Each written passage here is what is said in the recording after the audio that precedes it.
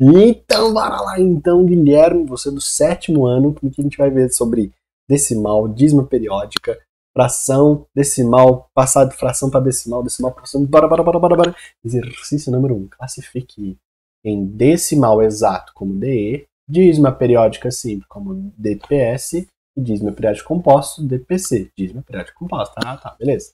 Então, como é que a gente vai fazer para a gente transformar se é decimal exata, se é de... O que, que é primeiro decimal exato?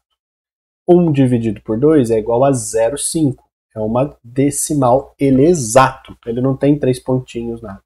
Quando você faz 3 dividido por 9, isso aqui vai dar 0,33333, não tem fim, tem três pontinhos, é uma dízima periódica simples nesse caso. Então, isso que é a diferença. Então, como é que a gente vai resolver? Primeiro, a gente tem que transformar fração para decimal. Né? Aí a gente vai ver se é uma dízima ou se ela é exata. Então, como é que a gente faz? Tem que fazer a divisão. 3 dividido por 9, beleza? Ah, como que a gente faz? O 3 ele é menor que o 9, ele não entra na festa, então a gente tem que pedir ajuda. Mas como não tem um número, o que a gente faz? A gente coloca um zero e coloca 0, tem que fazer isso, beleza? Agora 30, beleza, é maior que 9. Aí a gente faz a pergunta. Quantas vezes o 9 cabe dentro do 30? Uh, ah, faz lá a tabuada do 3. Tudo, tudo 9. 9 vezes 1, 9 vezes 2, 9 vezes 3, 9 vezes 4, aqui eu acho que já vai estar tá suficiente. Então, ó, 9, 18. Inclusive, a gente tem um tabuado do saber que a gente explica como montar isso aqui bem rápido, é bem legal. Uh, tá, então 30, ó, 36 passou, então ele cabe em 3 vezes. Por quê? Porque 3 vezes 9 é 27, subtrai, e a resposta vai dar 3. A gente acrescenta o zero. Como já tem esse, essa vírgula, não precisa colocar um zero aqui nada, beleza? Como já tem essa vírgula, beleza? Uh, 30. O que, que você vai fazer de novo? 27. Cabe 3 vezes. Então, 3 vezes 9 é 27. Subtrai, vai dar 3. Quantas? Coloca um zero. Já tem a vírgula, não precisa colocar mais nada. Quantas vezes o 9 cabe dentro do 30? 3 vezes. Por quê? 3 vezes 9 é 27. 27 vai dar 3, subtrai. Isso aqui vai ser várias vezes, vai acontecer isso sempre. Por isso que a gente fala que isso aqui é uma dízima. Então aqui a resposta é 0,333, tal, tal, tal. Mas não é isso que ele perguntou. O que, ele perguntou? Se é uma dízima periódica simples ou composta. Ela é simples. Quando tiver uma composta, ela tem que ter um intruso. Tinha que ser lá, ser um 433. Aí, esse intruso aqui era seria composta. Mas no caso, ela é simples. Então, qual é a resposta? DP S, beleza? Dízima periódica simples. Item B. 1 dividido por 5. Como é que você faz? Tem que transformar a fração em decimal. Coloca lá 1 dividido por 5. Não tem saída, sem preguiça. Faz bonitinho no seu caderno. Beleza, Guilherme? Bora lá. 1 entra na festa. Lembra que a gente sempre faz a pergunta? Esse número aqui tem que ser... Pensa lá que o 5 é o guardinha da festa. E ele não deixa ninguém entrar. Só se for maior que ele. Se for maior ou igual, beleza, ele já deixa entrar, mas um ele é menor. Então, 5 não vai deixar ele entrar. Então, o 1 vai ter que pedir ajuda para o próximo número. Mas não tem esse outro número. Então, a gente coloca um zero. E aí, como é a primeira vez, você coloca 0, beleza? Essa é a regra.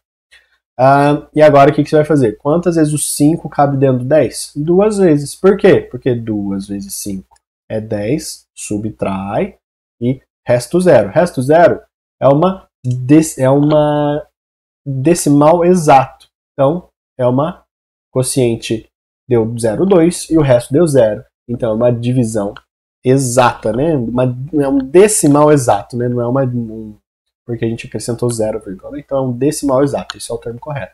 Então, isso aqui é um DE, beleza? E tem C. 3 dividido por 4. 3 dividido um pouco mais para cima, né? Dividido por 4. Você vê que eu já deixo um espacinho aqui? Porque eu já reparei que o 3 é menor que o 4. Então eu sei que eu vou ter que acrescentar alguma coisa ali. Tá? Então, o 3 consegue entrar na festa? Não consegue, o 4 barra. Então a gente tem que pedir ajuda pro próximo. Como não tem, coloca um zero. E obrigatoriamente você coloca um zero vírgula. Aí beleza, agora você pode fazer a pergunta. Qual que é a pergunta? Quantas vezes o 4 cabe dentro do 30? Faz a tabuada do 4. Se você já para ganhar tempo, já vai lá no 4 vezes 5, que é uma das tabuadas mais fáceis, né? Tabuada do 5. 5 vezes 4 é quanto? Lembra? A ordem dos fatores não altera o produto. É 20. Então começa. vezes 6 é 26, vezes 7 é 30. Opa, 30. Então, quantas vezes o 4 cabe dentro do 30? 7 vezes. Por quê? Porque 7 vezes 4 é 30, não, não esquece de subtrair, vai dar zero. Resto zero, decimal exato, 0,7. Então aqui é um DE, beleza? Aqui ficou DE, aqui ficou DE e aqui DPS, né? É isso daí. Vamos lá, 13 dividido por 6. Tem que fazer a conta. Um entra na festa? Não entra.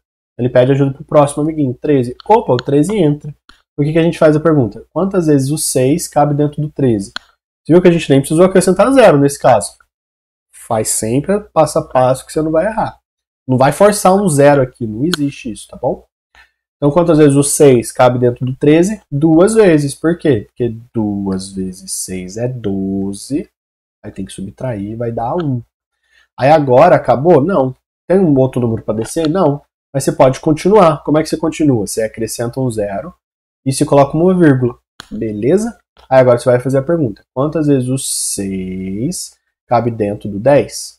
Uma vez. Por quê? Porque 1 vezes 6 é 6.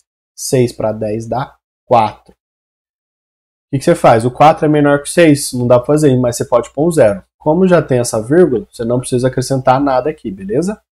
Aí você faz a pergunta: quantas vezes o 6 cabe dentro do 40? Vamos lá, 6 vezes 6, isso daí é algo que você são os quadrados perfeitos, é bom saber, já começa por ele. Ó. Aí depois 6 vezes 7 vai dar quanto? 42. Opa, passou. Então quantas vezes o 6 cabe dentro do 40? 6 vezes. Por quê? Porque 6 vezes 6 é 36, subtrai, põe 4. Acrescento zero. Como já tem uma vírgula aqui, não precisa fazer mais nada. Quantas vezes o 6 cabe dentro do 40? 6 vezes. Por quê? Porque 6 vezes 6 é 36, subtrai vai dar 4. 40, 36, 4, ó, nem tá vendo. Isso aqui vai virar uma dízima periódica. Então a resposta aqui é 2, 1, 6, 6, 6, ponto, ponto, ponto. E olha que legal, esse daqui é uma dízima periódica composta. Eu vou mostrar para você por quê. Tá vendo que aqui o que repete o período, isso é muito importante você saber.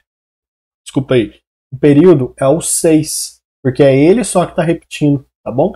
Se o período é 6, esse 1 ele é um intruso, ele é um impostor, né? não sei como é que você gosta de falar. Então, quando ele tem um impostor, ele é uma dízima periódica composta, legal? Ah, e a nossa última, anota aí, ó.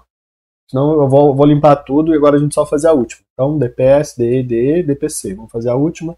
5 dividido por 12. Opa, já vi que ele é menor. Vou deixar um espacinho aqui.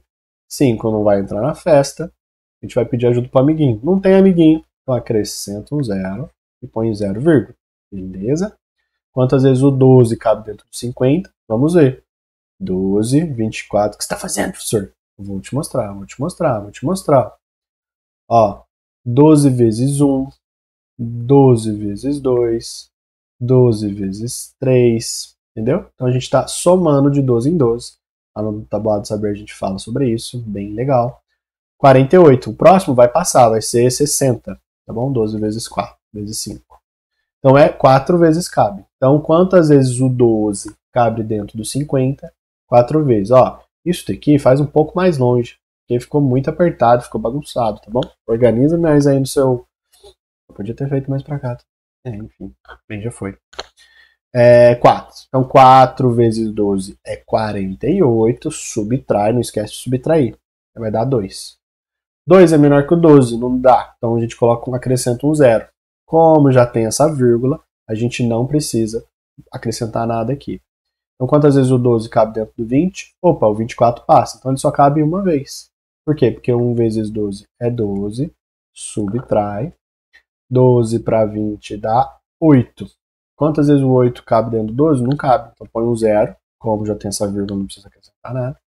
E a gente faz, então 12 vezes 5 é 60, né? Então 12 vezes 6 é 72. E 12 vezes 7, 7, 84. Opa, passou. Então é 6 vezes. Quantas vezes o 12 cabe dentro do 80? 6 vezes. Por quê? Porque 6 vezes 12 é 72, não esquece de subtrair aqui. 42 para 80 vai dar 8. E agora a gente vai cair aqui, ó. A dar 8 é 0. Opa, legal, já vi o que aconteceu. É, como já, já tem uma vírgula, a gente não precisa pôr zero. Quantas vezes o 80 cabe dentro do 12? 6. Por quê? Porque dá 72. 72 vai dar 8. Vai dar 0. 72, 8, 6. Ou seja, aqui vai dar 6, 6, 6, 6, 6, 6. Então aqui é 0, 41, 6, 6, 6, 6. Aí eu vou te perguntar, vou até colocar de novo. 41, 6, 6, 6. Essa é a resposta.